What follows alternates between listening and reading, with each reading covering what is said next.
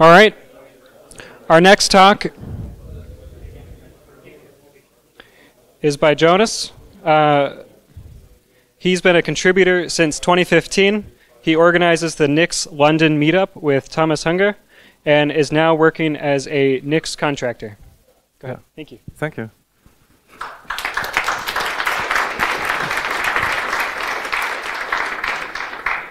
All right. So today I want to talk to you about uh, using Nix at work. Uh, the title is a bit uh, facetious, but basically I want to show how you take a code base from work or a customer and Nixify it. And there's different stages that you will see uh, that you have to go through. So just for a quick history, so September last year, I was tired of hacking Nix on the side, and so I decided to quit, quit my job and become a Nix contractor. Uh, but there's not a lot of work around uh, yet. And after a while, I met uh, with Tweag, and they have really cool customers. And I was able to do a lot of Nix stuff with them. And now I joined uh, Tweag, and they're doing sort of R&D applied uh, computer science. So it's kind of a R&D lab for other customers. Um, all right, so the program is really uh, to show you the different stages. There's going to be first phase is Nix shell, then you want to package your things, and finally you set up your CI. Okay, so I can't really show the customer's code, so I built a little app. Um, I actually took some of the source code from a project called To-Do MVC, and then I nixified it. And you can find uh, all of the source code over there. So if I'm going a bit quickly through the slides, you can always uh, have a look on the repo. And you can see the file structure is basically you have one backend, one frontend, and the backend is a Haskell project, and it has two components, and the frontend is uh, just some bunch of JavaScript. And um, yeah, first thing is Nix shell. So you know you you just drop a shell.nix in the project, and your um, your colleagues ask you what is this file, and you say don't worry about it. and then at some point, suddenly they have problem with system dependencies, and then you're like, oh. Uh, you could try to fix it, or you can install Nix and just run Nix shell, and it's going to be fine. And basically, um, the shell.nix file would look something like that. So you import uh, Nix packages, and then you create the derivation. And the important part is the build inputs, where you put all the system dependencies that you need. And then a last feature of Nix shell is you can uh, run some bash scripts that, uh, in this case, would source the .env file that contains uh, typically environment variables for the project. Um, right, so that's kind of the version zero. And so one thing you might notice is you have to put a name, you have to put a source, which is always null or some path, but it's not really relevant. So I think we should introduce um, MK shell that just simplifies the, the process. And also uh, that pulls in all of the build inputs from your different packages that you're going to define later on.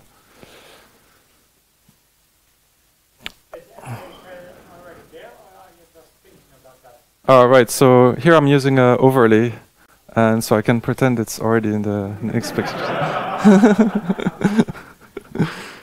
uh, but it, it's in the project, and uh, my intention is to submit a PR at some point. Or if you want to do it, you're welcome. Uh, the other thing that's important or that can trick you quite easily is if you run Nixshell in dash dash pure mode, then lots of the tools that you have available are not going to be there. And usually if you customize your bash RC, then suddenly you're going to have uh, failures. And so that's why this first line is quite common. You find it on most Debian distributions. And then I recommend to add this second line, uh, which is something that uh, basically escapes the config of your bash RC if you're in the pure mode, or just any uh, Nix shell actually. All right, so you can even uh, start running things uh, in the Nix shell without really stepping into it by using the dash dash run command. And now any you can even plug this into your CI, and now you build with the Nix shell. And it's not really pure, but it kind of does the job. Okay, so that's the first stage, and it works, but it's not really pure. And I would say the main issue is that it's not composable. Because one of the really cool things about Nix is that you can take, make a derivation, and then compose it and make another derivation. And that's the really the power of Nix. And something you don't find with Docker files, for example. And so you would build packages. Um, I'm not really going to go uh, really into how to make packages. The main recommendation I have is read Nix packages. There's lots of examples out there. But basically it looks a little bit like that. You have a package name, then you specify the source, and then you have different types of inputs, uh, which you should probably learn because not everyone knows. So the native build inputs are tools that you use to build, but are not going to be part of the output. And this is important, especially for people who do cross-compilation. Then there's the propagated build inputs, which are tools that you might use for build, but you also want to install afterwards. So they kind of come with, like, if you have a binary dependencies, and then the build inputs that probably everyone knows. Uh, you also want to learn about the different types of phases that are, different types of outputs, and yeah. So for this project, we have some Haskell uh, packages, and I'm not going to go too much into details, but right now in this space, you have multiple tools. So you have Cabal to Nix, Stackage to Nix. Uh, you can also try to use the, the just the Haskell packages that are in the Nix packages. You can also use the Stack tool, which is a uh, tool that's in the Haskell community, and it has a dash dash Nix mode.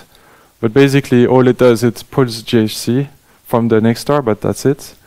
Or you can swap things around and create a derivation that invokes a stack, and it's maybe impure, but uh, you can uh, maybe control the dependencies a little bit better. And for the node part, uh, with Martin. Where is Martin? Ah, there it is. Uh, we worked on uh, this project that's called Yarn to Nix, and what it it does is uh, so Yarn is a Facebook project that tries to replace npm. And the good thing about it is it generates a log file that contains the hashes of all of the packages that you depend on.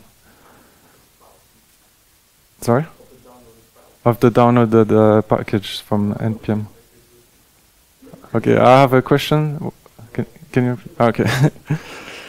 um, so the cool thing about this is that actually what we do is so the first phase was to uh, do like any other languages where you do a yarn to Nix project that generates a Nix file from your log file. But then we realized that actually this operation was pure because all the inputs is the hashes from the other file. So now we can import from the output another, we can import the Nix file that's generated, and we don't need to compute any checksums, which means that basically your yarn package uh, doesn't have any uh, SHAs. That's the magic. So what it does, it uh, takes the name from the package.json, the version from the package.json.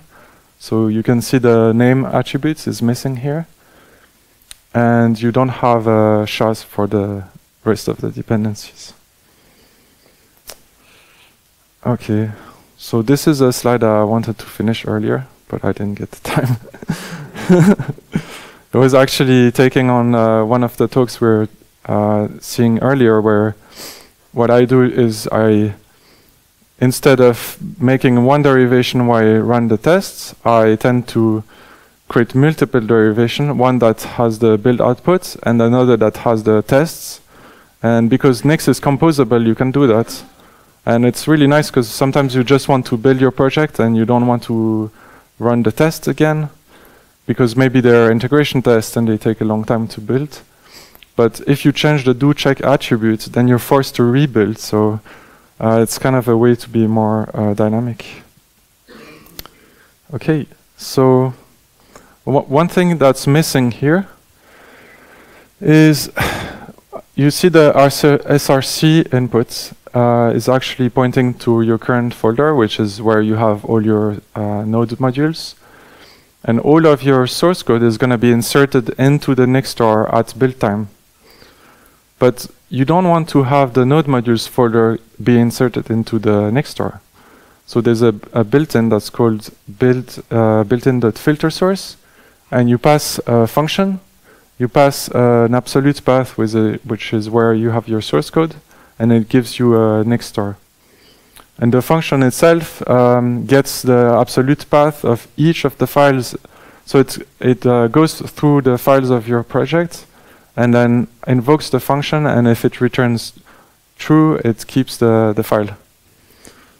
And so you get the absolute path to the file and the file type, which is uh, like a file or a directory or maybe a symlink. And in the Nix packages, there's one uh, tool that exists that's called lib.cleansource, which basically removes the result file that you would get from a Nix build. So you don't, if you don't do that, you're gonna run Nix build, and you run Nix build again, and it builds again because it inserted the results from the previous build, and so you kind of are in an infinite loop. Uh, it's nice, but it doesn't really compose. So typically you would have to rewrite it or make a function. So what I propose is that we change a couple of things to filter source. First, I think uh, the function should return true if we should remove it, so invert the Boolean logic, because it's more natural. Um, if you look in the, I think in Nix packages, oh, you're not gonna see it here. Okay, just trust me, but the clean source function is actually doing exactly that for a lot of conditions and then adding uh, a not in front.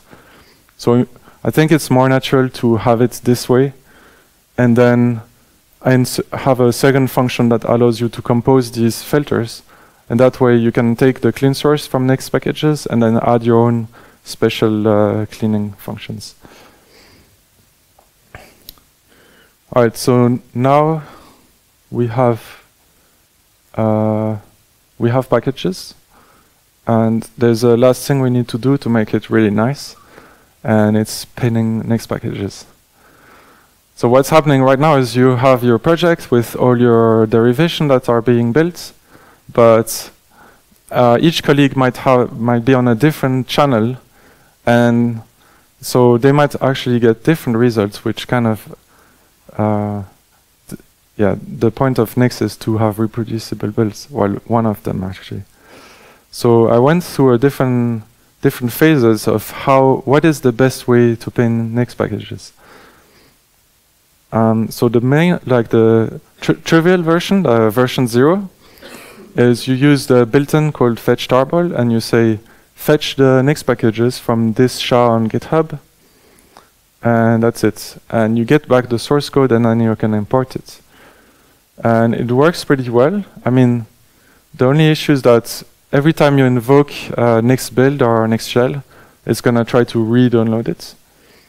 And one solution is to upgrade to Nix 1.12 and then add the SHA-256.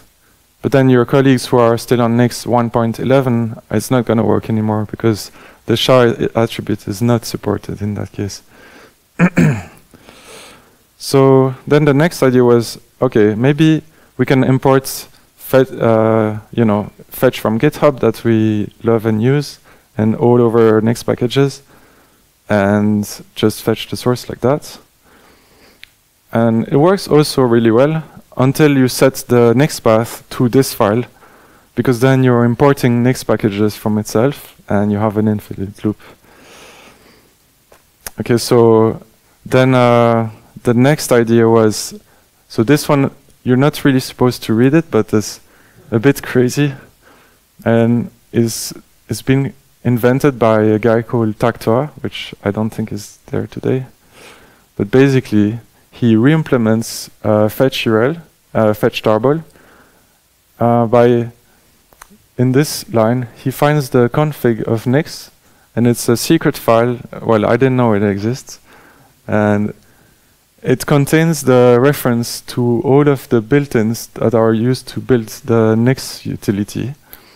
And so you can actually, without importing Nix packages, already have access to gzip and tarball.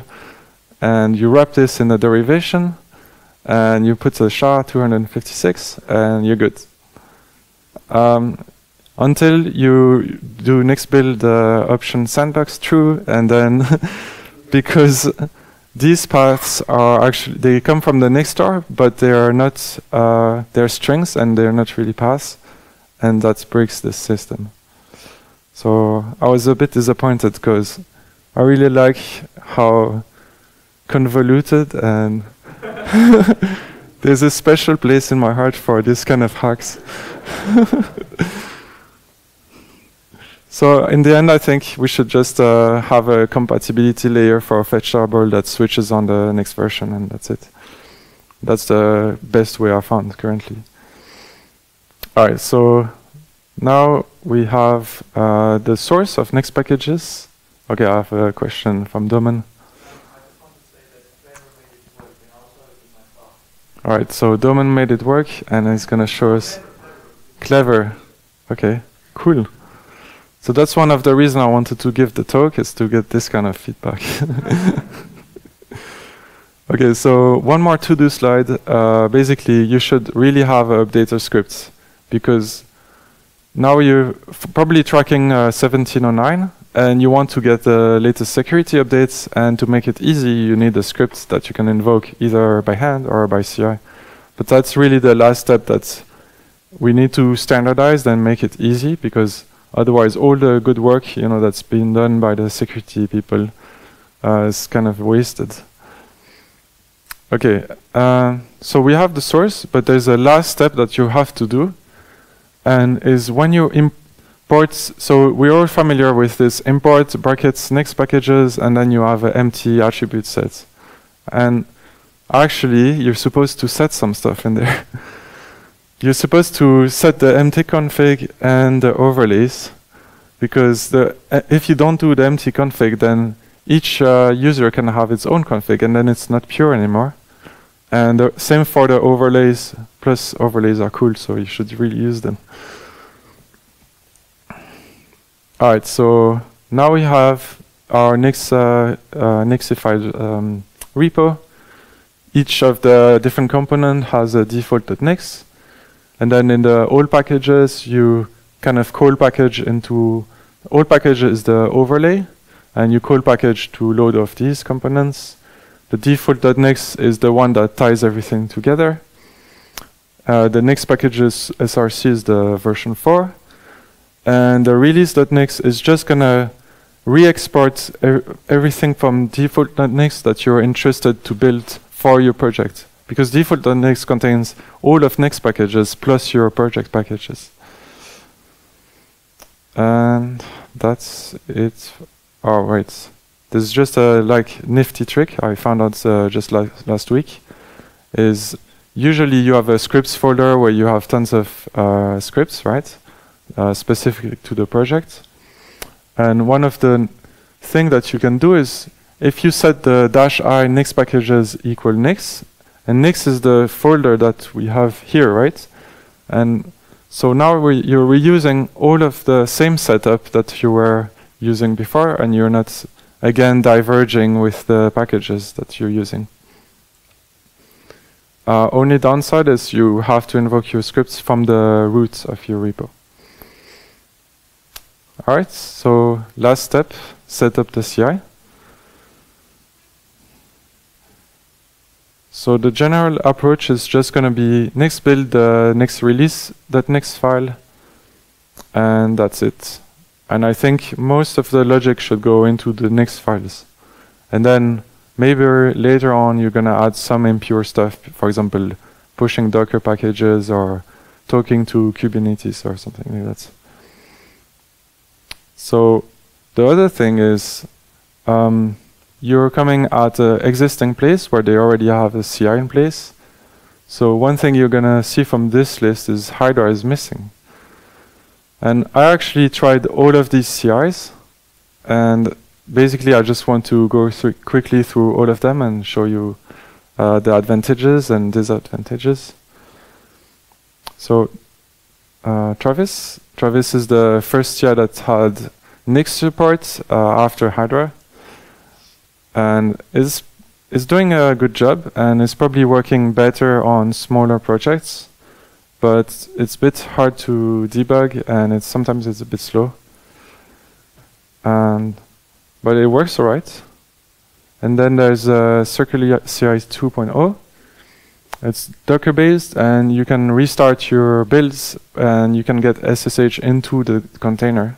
So it's kind of handy sometimes to debug things. The, the only issue is that they have an immutable cache.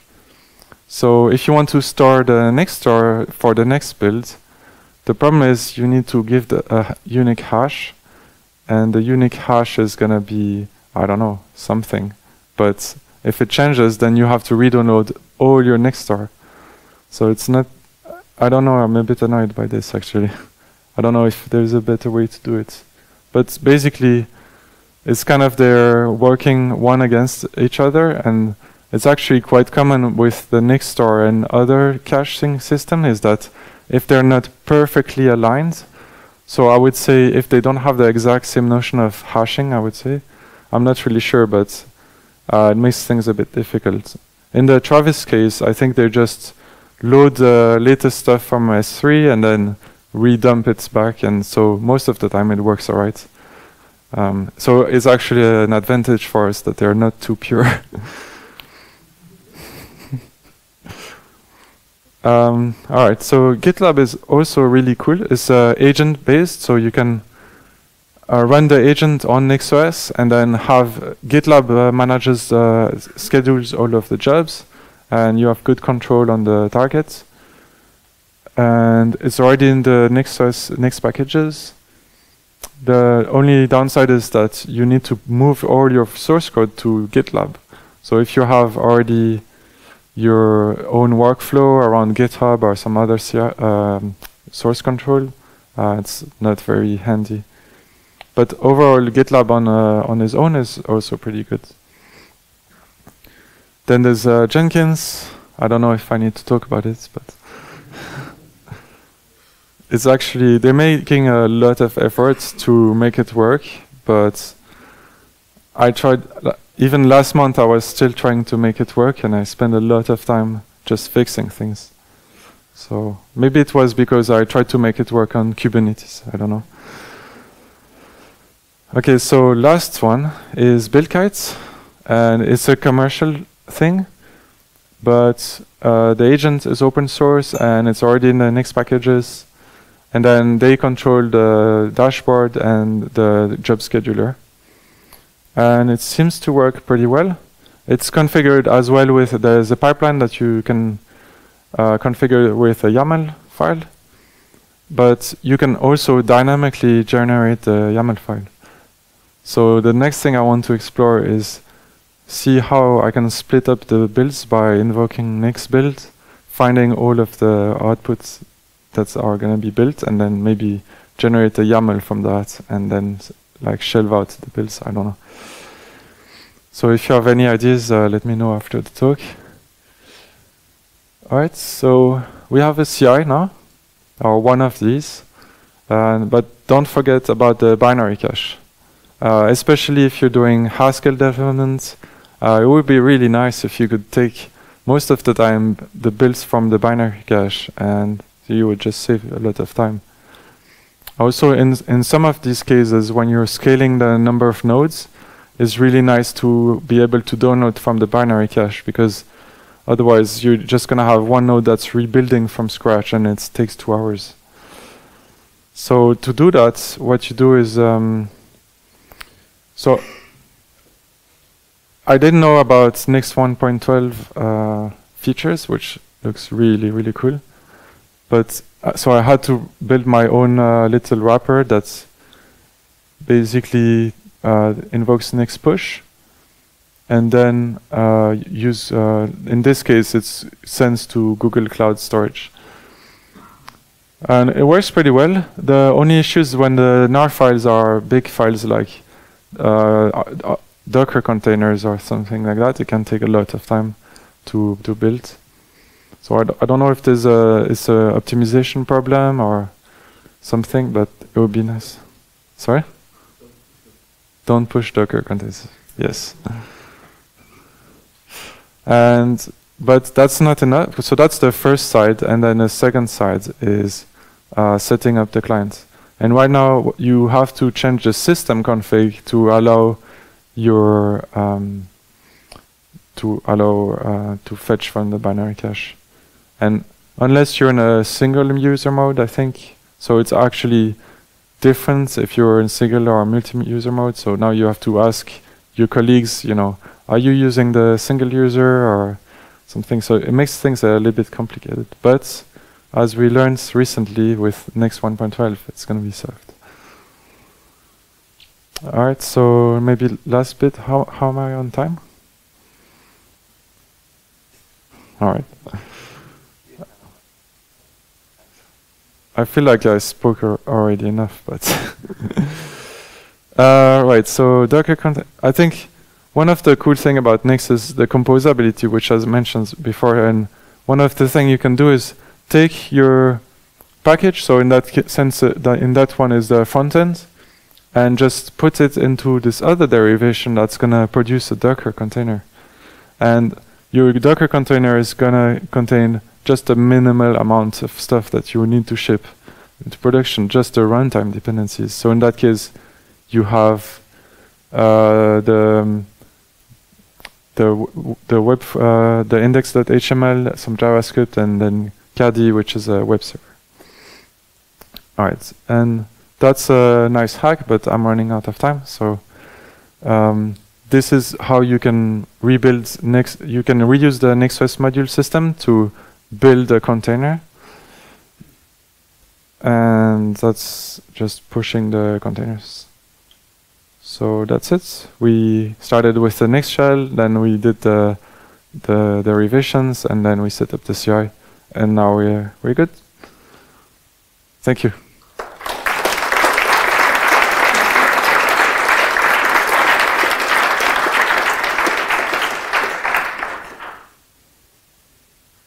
Is there time for questions? Uh, yeah. All right. Questions? Yes. No, over there.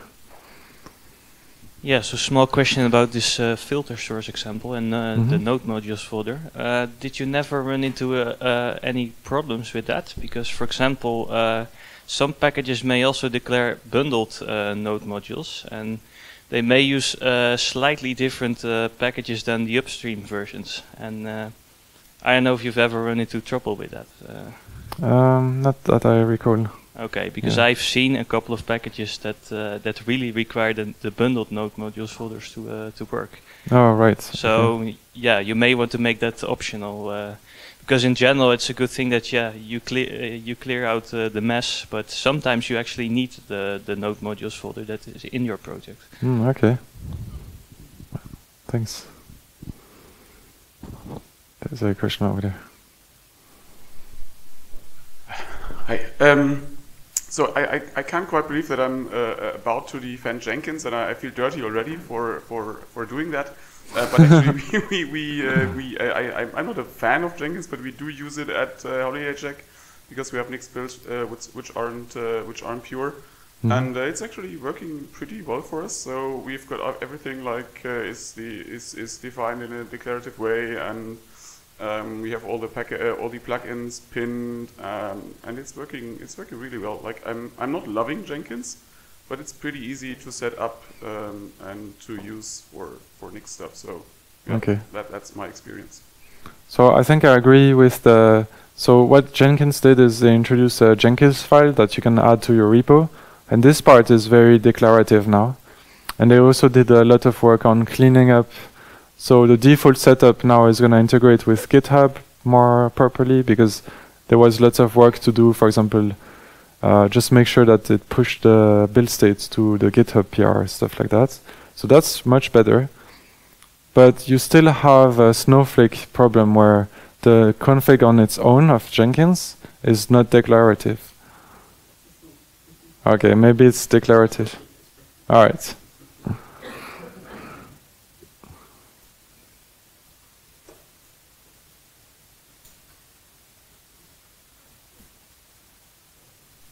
Um, so, have you had to think much about distribution of channel?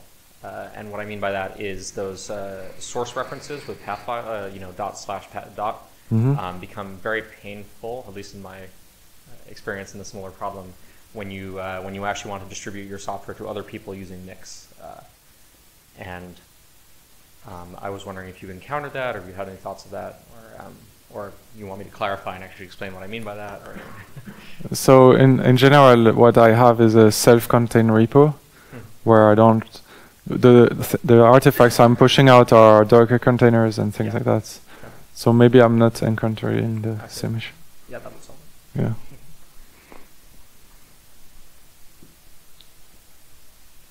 Any other questions? Thank you. Ah, there's a last question. Just for the um, for the slide that you ran out of time, would you be around after the closing? yeah, yeah, sure. I'm gonna publish the slides Because I think like actually getting uh, the full NixOS with services to run in Docker, I think that's rather interesting. Right. So it generates the next um, file system, but you don't have systemd in the container. So this thing, it would be nice if we could solve it. Actually, and I agree. Yeah. All right. Any further questions? Thank you. Thank you.